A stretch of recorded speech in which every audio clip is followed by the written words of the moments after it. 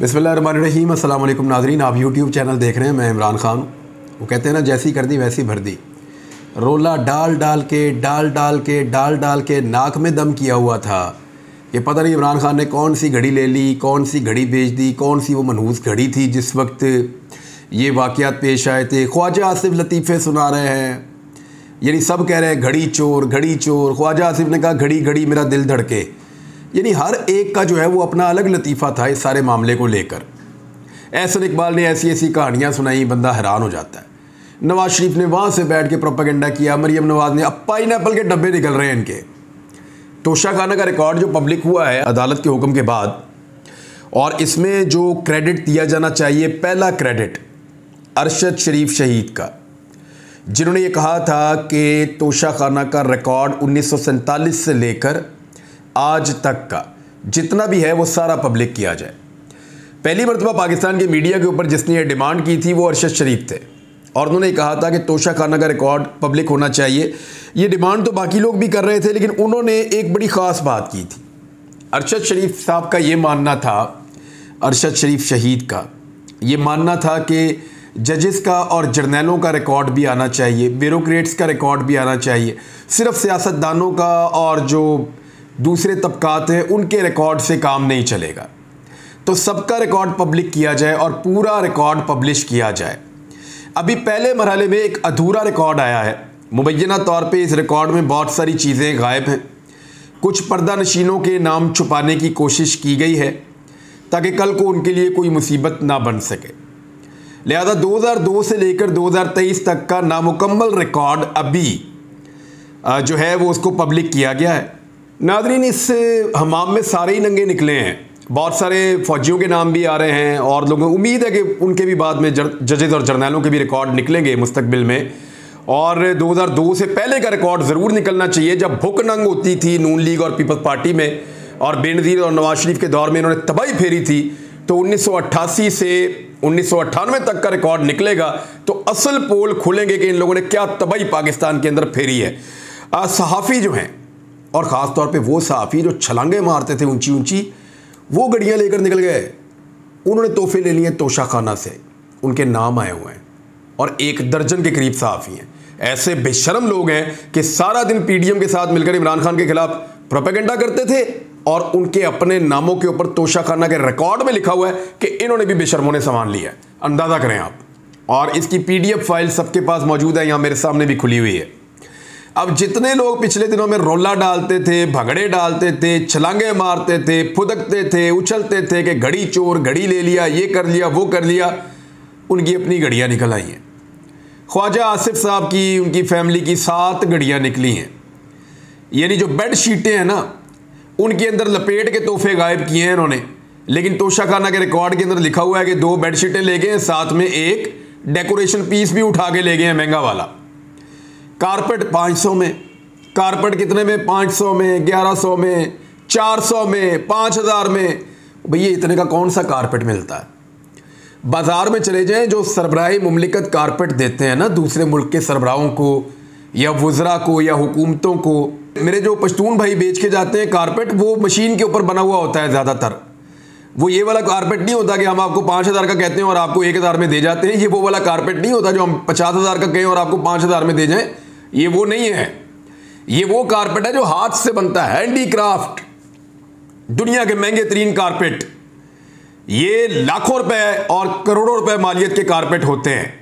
और इनमें बहुत सारे इंटीक कारपेट भी होते हैं, बहुत पुराने बने हुए। और कुछ ऐसे फनकार दुनिया में मौजूद हैं।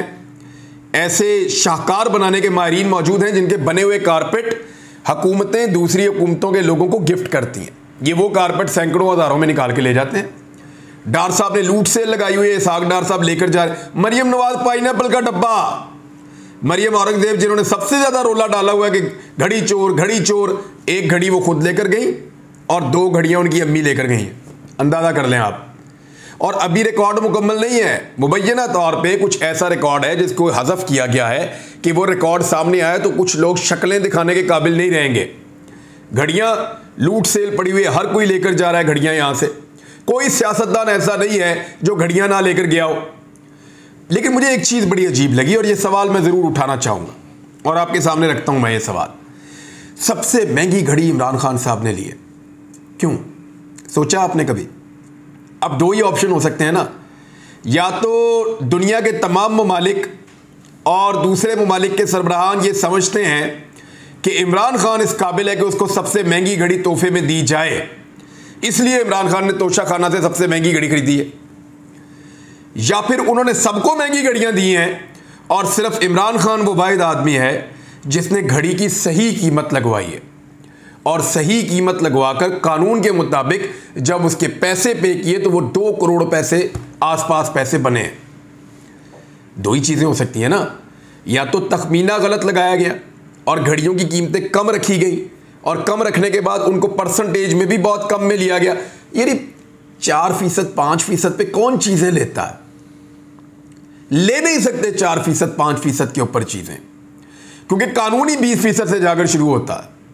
लेकिन चीज़ें जो हैं वो चार फ़ीसद, दस फ़ीसद, ग्यारह फ़ीसद, पंद्रह फ़ीसद, ऐसी चीज़ें लेकर जा रहे हैं जैसे लूट का माल है, बाप का पैसा है, और तोशाखाना के अंदर से दरादड़ ये लोग चीज़ें निकाल रहे थे।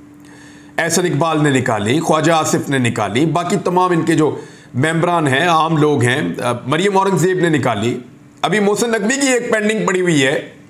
अभी वो आया और बैरून मुल्क दौरा भी नहीं किया और एक घड़ी है, वो उसके ऊपर है कि अभी उसको देखना है कि मिलती है या नहीं मिलती, वो प्रोसेस के अंदर है अभी। बहुत सारी चीज़ें और भी प्रोसेस के अंदर हैं। जरदारी साहब ने तबाइयाँ फेर दी हैं।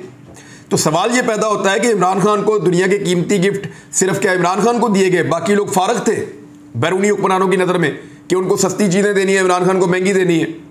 या फिर इमरान खान ने कीमत जायज़ और कानून के मुताबिक लगाकर उसको महँगे दामों ख़रीदा। या तो ये चीज़ होगी। अब बड़े सवाल मज़ीद पैदा हो गए हैं। मैं उनके ऊपर भी जाता हूँ, लेकिन ये जस्टिस आसिम हफीज़ साहब, लाहौर हाई कोर्ट के, उन्होंने तेरह मार्च तक तमाम तफसीलात पब्लिक करने का कहा था, वरना सेक्रेटरी कैबिनेट डिवीज़न ने पेश होना था। अब मामला यह है कि क्या यह रिकॉर्ड दुरुस्त है? ये वो सबसे बड़ा सवाल है जिसका जवाब चाहिए। गिलानी ख़ानदान, इन्होंने बहुत मौज की है। तबाही फेरी है यूसुफ रजा गिलानी साहब के बेटों की आप बातें सुने तो ऐसा लगता है कि मजदूर बात कर रहा है। लेकिन अगर वो तोहफे जो वो उठा के वहाँ से ले गए हैं, उसके अंदर उन्होंने तबाही फेर दी है। परवेज़ मुशरफ साहब ने बहुत सारे तोहफे लिए। शौकत अज़ीज़ साहब ने लिए। यूसुफ रजा गिलानी साहब ने लिए। नवाज़ शरीफ साहब ने तबाही फेरी। राजा परवेज़ अशरफ साहब ने लिए और इमरान खान साहब ने भी तोहफे लिए। जबकि मौजूदा वजी अजम शबाज शरीफ और सदर आरफ अलवी का तोशाखाना रिकॉर्ड अभी अपलोड किया गया है, उनका भी अपलोड कर दिया गया है। जरदारी साहब ने जो अजीब गरीब काम डाला ना, और नवाज़ शरीफ साहब ने, वो तो तोशा खाना के कानून में उसकी गुंजाइश ही नहीं है। यानी बहुत सारे तोहफे जो हैं, वो फ्री ऑफ़ कॉस्ट तो लोग लेकर गए हैं, मुफ्ती ले गए लेकिन आसिफ अली जरदारी और नवाज़ शरीफ ने तोशा खाना में एक ऐसी कार्रवाई डाली है, जिसकी गुंजाइश मौजूद ही नहीं है। जो हो ही नहीं सकता, कानून उसको मना करता है। क्योंकि तोशा खाना के कानून के अंदर यह लिखा हुआ है कि अगर गाड़ी आ जाती है, अगर गाड़ी आ जाती है तोशाखाना में तो वो कस्टम के पास जाएगी। वहाँ पे ऑक्शन होगी। उस ऑक्शन के अंदर आप ले लें तो ले लें। अदरवाइज़ आप तोशा खाना से गाड़ी नहीं उठा सकते। वरना ये तो बहुत आसान होगा। आप बाहर से एक गाड़ी खरीदें, महँगी तरीन, क्योंकि बाहर तो बहुत सस्ती मिलती हैं। एक गाड़ी खरीदें, वहाँ पे किसी को कहें कि मुझे तोहफा दे दो। वो गाड़ी आपको तोहफे में दे दे।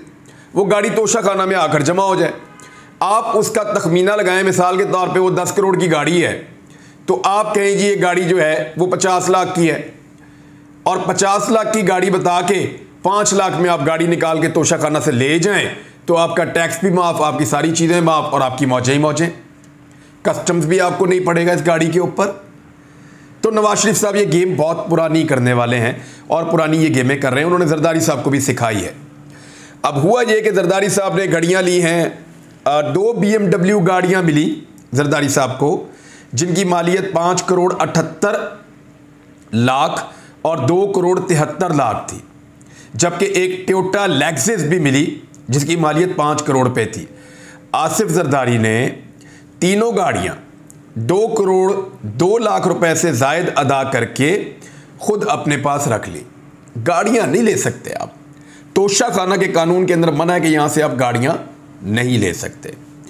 और नवाज़ शरीफ साहब ने 2008 में, यानी 2008 में मियाँ मोहम्मद नवाज़ शरीफ साहब ना वज़ीर अजम थे, ना वज़ीर अला थे, ना एम एन ए थे, ना काउंसलर थे, कुछ भी नहीं थे मियाँ नवाज़ शरीफ साहब। ही वॉज़ नथिंग इन 2008 लेकिन मियाँ नवाज़ शरीफ साहब ने मर्सडीज़ कार जिसकी कुल मालियत इन्होंने उस वक्त लगवाई बयालीस लाख पचपन हज़ार रुपये और 20 अप्रैल 2008 को नवाज़ शरीफ ने मर्सिडीज़ कार छः लाख छत्तीस हज़ार आठ सौ अट्ठासी रुपये अदा करके रख ली। कौन सी मर्सिडीज़ है भाई जो साढ़े छः लाख में मिलती है 2008 में? मेरी हद ही हो गई है। और ये वो गाड़ियाँ हैं जो बड़ी जदीद तरीन गाड़ियाँ हैं। और छः छः लाख में ये गाड़ियाँ उठाकर लेकर जा रहे हैं। फिर नवाज़ शरीफ साहब ने कारपेट लिए, नवाज़ शरीफ साहब ने जो है वो ग्लास सेट लिए, कफलिंग्स लिए, सोने के सामान लिए और गुलदान लिए।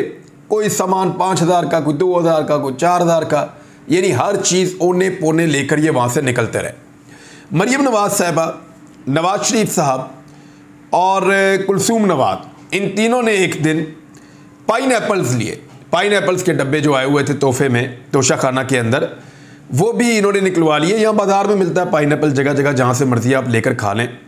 लेकिन इन्होंने ऐसा सफाया फेरा तोशा खाने का कि वहाँ से भी वो लेकर चले गए। अब ये तोशा खाना नहीं लगता। अब ऐसा लगता है कि ये नोचा खाना है। इसको बहुत बुरी तरह इन लोगों ने नोचा है। जो बड़ा सवाल पैदा होता है ना इस वक्त, वो क्या है? ज़रा इस पर आप गौर कीजिएगा।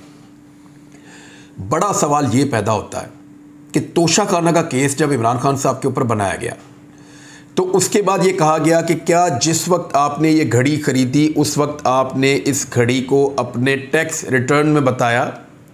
जिस वक्त आपने ये घड़ी बेची, उस वक्त आपने इस घड़ी से मिलने वाले पैसों को अपनी टैक्स रिटर्न में बताया। तो इमरान खान साहब ने कहा, मैंने बताया था। और उसके अंदर कोई गुंजाइश पैदा करके इमरान खान साहब को इलेक्शन कमीशन ऑफ़ पाकिस्तान ने नायल किया। गुंजाइश पैदा करके। इमरान खान साहब ने कानून के मुताबिक तखमीना लगाया क्योंकि सबसे महँगी घड़ी फिर यही है। कानून के मुताबिक तखमीना लगा के, कानून के मुताबिक इमरान खान साहब ने घड़ी खरीदी, कानून के मुताबिक पैसे पे किए और बेचने के बाद अपने टैक्स रिटर्न में बता दिया। अब जो कहानी पाकिस्तान तहरीक इंसाफ ने बताई वो ये है। अब इसमें लकूना ढूंढ के, इसके अंदर कहीं ना कहीं को गुंजाइश निकाल के इमरान खान साहब को नायल किया गया। अब ज़रा देखें कि नवाज़ शरीफ ने जितनी घड़ियाँ ख़रीदी क्या उन सबको अपनी टैक्स रिटर्न में ज़ाहिर किया? शहबाज शरीफ ने जो चीज़ें ली, क्या उन्होंने उन चीज़ों को अपनी टैक्स रिटर्न में ज़ाहिर किया? जरदारी ने, जरदारी की बेटी ने, जरदारी के बेटे ने, और बाकी ख्वाजा आसिफ ने, एहसन इकबाल ने, बाकी लोगों ने जो जो सामान तोशा खाना से लिया। एक तो उसकी वैल्यू बहुत कम बताई, लेकिन जितनी भी बताई, क्या वो वैल्यू जो इनके पास टैक्स रिटर्न जमा होती हैं हर साल। उनके अंदर जमा करवाया, वहाँ बताया। अगर बताया तो ठीक है, अगर नहीं बताया तो फिर नायल होना पड़ेगा। और इस मामले पे अब वकला ने काम शुरू कर दिया है। अजहर सिद्दीक साहब के सर पे सहरा जाता है सारे मामले का। उन्होंने अभी इसको बहुत उठाया। अबू जर सलमान ने आजी इसके ऊपर बहुत टकरे मारते रहे बड़ी देर तक। कुछ सहाफ़ी हैं, वो भी इसके ऊपर राइट टू इन्फॉर्मेशन कानून के तहत कोशिश करते रहे। लेकिन फाइनली जो है, वो लाहौर हाई कोर्ट में अजहर सिद्दीक साहब ने इसके ऊपर बड़ा ज़ोर लगाया और बड़ी कोशिश की। शबाज शरीफ साहब ने दर्जनों चीज़ें मुफ़्त में रख ली हैं। यानी वो हर चीज़ की कीमत कम लगवा के और उसको मुफ़्त में ही ले लेते थे। शबाज शरीफ ने गाय के मॉडल, सराही, वॉल हैंगिंग, बाउल, खंजर, ये मुफ़्त में रख लिए। जबकि गाय का एक मॉडल आठ हज़ार में, सराही पच्चीस हज़ार में, वॉल हैंगिंग सत्रह हज़ार में और खंजर पचास हज़ार रुपये मालियत के थे। यानी मालियत इन्होंने उनकी कम लगाई। अब पचास हज़ार वाला खंजर कौन गिफ्ट करता है? सरबराह ममलिकत गए हैं, उनको पचास हज़ार रुपये का खंजर गिफ्ट हो रहा है तो ऐसे तो नहीं होता है तो लाखों रुपए की चीज़ें होती हैं। लेकिन उनकी कीमतें कम लगाई जाती हैं। स्टेडियम मॉडल पंद्रह हज़ार तोशाखाना से लेकर मुफ़्त में रखा शबाज शरीफ ने बुकलेट जो है वो रख लिया और इसके अलावा सुराही एक और है, वो रख ली और और बहुत सारी और चीज़ें यहाँ पे ढेर लगा हुआ है। घोड़े का एक मॉडल है धाती मुजस्मा एक घोड़े का, वो रख लिया। चॉकलेट्स ले गए, शहद ले गए, जार ले गए उज़्बेकिस्तान की मसनूआत साथ ले गए और पेंटिंग साथ अपने बहुत सारी ले गए शहबाज शरीफ साहब। और बहुत सारी और चीज़ें इनको मिली हैं। पेंटिंग्स हैं, मज़ीद। यानी तलाई गुलदान है शरीफ साहब को मिला तलाई गुलदान के लिए शरीफ साहब ने कुछ पैसे भी थोड़े बहुत अदा किए हैं। और पैंतीस हज़ार का एक डेकोरेशन पीस उन्होंने पाँच हज़ार में लिया है। और पैंतीस हज़ार का कौन सा डेकोरेशन पीस होता है? ये पता है सबको कि कौन से डेकोरेशन पीस है और किस तरह लिए जा रहे हैं। बाउल्स बहुत सारे ये ले गए हैं। कालीन ले गए हैं। और फ्री में रखा है इन्होंने कालीन। और अरबी कॉफ़ी दान है, वो ले गए हैं। अरबी कावा दान है, वो ले गए हैं। तो इस तरह शबाशी साहब ने टका के तबाही फेरी, ये भी बहुत सारी चीज़ें लेकर गए हैं। लेकिन एक और बड़ी इंटरेस्टिंग चीज़ मैं आपको बताऊँ। दोनों भाइयों को जो किताबें मिली हैं, दोनों भाई किताबें नहीं लेकर गए। शबाज शरीफ साहब को 2009 में किताबें मिली। नवाज़ शरीफ साहब को मेरे ख्याल में पंद्रह सोलह में गालिबा किताबें मिली थी। तो दोनों भाइयों ने किताबें लेने से इनकार कर दिया और मुफ़्त में भी किताबें अपने घर नहीं लेकर गए। यानी किताबों का इनके साथ क्या काम है? इनकी जो बेटी है मरियम नवाज़, वो किताबों के नाम याद करके कट्स के अंदर बार बार ये नाम लिया, वो नाम लिया, राइटर के नाम लिए तो इस तरह वो अपनी एक प्रोजेक्शन कर रही हैं। सिर्फ़ बैठा के आप पूछ लेना कि इस राइटर की किताब कौन सी वाली है तो ये भी पता नहीं होगा।